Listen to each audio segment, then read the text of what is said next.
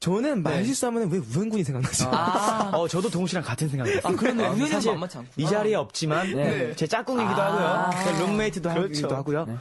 우현 씨의 대표적인 말실수가 한 가지가 있어요. 네, 뭐죠? 어, 요즘 가수분들이 네. 음악적으로 이렇게 collaboration을 해서 네. featuring을 해주는 경우가 아, 있는데 네, 맞아요. 우현 씨는 featuring을 futuring이라고 futuring. 하고 네. 다니죠. 네. 아, 그리고 성종 씨의 일화가 하나 더 있는데 다행이다. 많아요. 내가 말해도 될까요? 네, 말해, 괜찮아요. 편하게 해주세요. 빵빵 터지면 재밌을 네. 것 같아요. 사실 네. 어, 홍보하는 건 아니지만 저희 네. 인피니트가 지금 활동하고 있는 노래가 파라다이스라는 네, 노래잖아요. 파라다이스.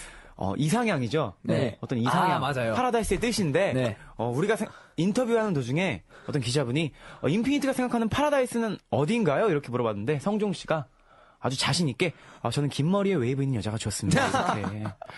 이상향을 이상형으로, 잘못 들었어요 그때는. 그게 잘못 들은 건지 같은 걸로 알고 있는 아니 건지. 같은 건 아니, 아는데 당연히 아는데 확연히 아는데 제가 고민할 줄 아는데 그 이상하게 귀를 그때 열었으면 닫았습니다. 그렇죠. 뇌도 같이 닫았군요. 형 형이나 잘하세요.